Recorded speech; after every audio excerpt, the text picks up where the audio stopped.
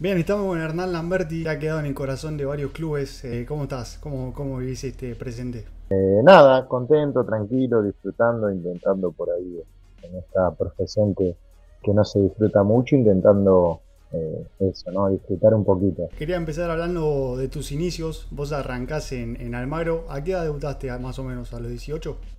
A los 19. ¿Qué sentís que cambió de ese Lamberti que estaba haciendo sus primeros pasos al, al Lamberti que conocemos hoy, que, que está en colegiales eh, ya, ya consolidado como, como, un jugador profesional? Ya pasaron 20 años, ¿no? Cambió mi posición también, ahora juego de volante central los últimos 10, 12 años. A ver, cuando yo subí a primera jugaba de enganche, en ese momento se jugaba mucho con enganche, claro. y igual me usaban más de carrilero, volante por afuera. ¿Qué consejo le darías a ese pibe que, que estaba arrancando? ¿Tenés algún consejo para darle o sentís que hiciste las cosas bien, digamos? No, a ver, eh, sí, que escuche, que escuche más. Por ahí uno cuando es chico eh, se cree que se lleva el mundo por delante, que se la sabe todas y bueno, eh, siempre escuchando se aprende más rápido. ¿no? Mirando para atrás, hoy ya en otro momento de tu vida, ¿sentís que te quedó algo por hacer? Por ahí el sabor amargo de haber eh, podido jugar un poquito más en primera, algunos que otro más, siempre todas las veces que jugué en primera fue porque habíamos conseguido el ascenso y no, no se me había dado, no se me dio la posibilidad de que de que me contrate nunca un club de primera, pero bueno, eh, se dio así. ¿La mejor puteada que te, que te han dicho te pasó? Oh, me, me, han dicho de todo. En un momento sí tenía el, el pelo largo, eh, cuando estaban desamparados. Y bueno, tengo algunas entradas, ¿viste? Y me, me, y me puse una vincha. Y uno me gritó, ponete pelo en vez de ponerte una vincha. Me hizo reír. Son, son, crueles eh, algunos. Son crueles, sí, sí, sí. ¿Un jugador que te haya sorprendido en una cancha? Para nombrarte, a ver, tuve la, la posibilidad de jugar ahora, hace poquito con, con, los muchachos de River, eh, el River de Gallardo, con Julián Álvarez, Enzo Fernández, claro. eh, de la Cruz, Carrascal. Eh, el que más me, me, sorprendió fue Carrascal, ¿no? Que nos enfrentamos el primer partido que, que jugamos contra River, que nada, la verdad que un chico que increíble la habilidad y la velocidad que tiene. ¿Un compañero con el que hayas disfrutado jugar? Creo que con el que más conexión tuve fue con Curuchet. En Platense la verdad que teníamos una conexión terrible eh, y, y, nada, era levantar la cabeza y saber dónde estaba o de memoria, eh, encontrarlo a él y creo que esa fue la, la mejor conexión que tuve, ¿no?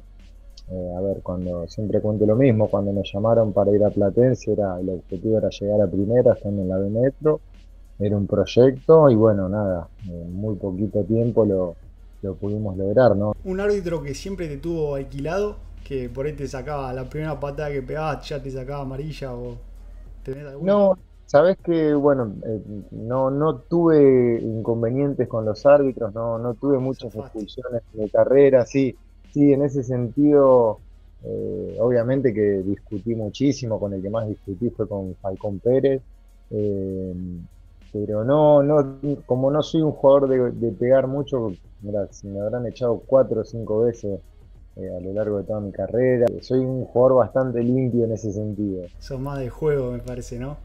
Y, no, inteligente, inteligente para pegar. Claro, hay que saber pegar, esa es la diferencia. Hay que, eso, eso, se va aprendiendo también con el paso del tiempo, ¿viste? Que no te vean. Eh, hace unos meses decías en una nota con Ascenso Directo que a los 39 años seguís con ganas de, de ir a entrenar, de jugar. Eh, ¿Cómo encarás este 2024? ¿De la misma manera?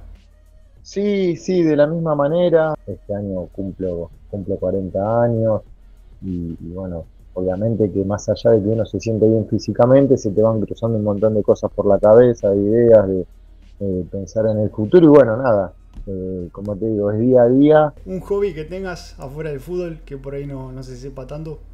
Eh, no, a ver, juego al pádel, algo que está muy de moda ahora, juego desde chico. Se puede decir que no te sumaste a la moda, digamos, que ya, ya venía de antes. No, no, no, no, ya venía de antes. Eh, veo que tenés camisetas ahí atrás. Eh, ¿Alguna que, que, te haya gustado cambiar? En ¿Alguna que tengas especial, digamos? Sí, sí, tengo un montón, un montón, por suerte, el último, el último tiempo en primera, obviamente, porque en el Nacional B, sí, el Nacional B y el ascenso es mucho más difícil. Claro. Eh, los costos, obviamente que nada, a ver, las camisetas siempre las pagamos nosotros y los costos son altos, eh, no todos los clubes tienen primero para comprar y después los chicos también para, para cambiar y bueno, nada, contento, el, último año y medio en primera, eh, bastantes camisetas, muchas importantes, de nombres importantes, así que queda un lindo, un lindo recuerdo ahí para mis hijos. ¿Cuál fue la cancha más difícil que, te costó? Eh, ya sea primera o ascenso, o los dos. Cuando estábamos en Juventud Antoniana del Argentino A, la más difícil, la cancha de la Florida, eh, en Tucumán, eh, no me olvido más, durísimo, durísimo, al lado del ingenio azucarero, hacían calor, un olor ahí, no se podía jugar y encima nada, nos mataron a piedrazo, eh, pero bueno, nada. ¿Cómo, salió ese partido? No, no recuerdo, no recuerdo, debemos haber perdido, ¿viste? Sí, el argentino A cuando va de visitante normalmente sos boleta, ¿viste? Eh, pero no, era, era duro, era duro. Te estoy hablando en el año 2007, o sea, imagínate, hoy por suerte sí, evolucionó. Otro sí, otro fútbol. Hoy evolucionó mucho el fútbol, las canchas están eh, la mayoría muy lindas. Eh, por lo menos ahora lo que me encontré en la B Metro de del 2017 que estuve con Platense, ahora un cambio increíble, todas las canchas muy buenas, los, los estadios han mejorado todo, así que la verdad que es algo para destacar.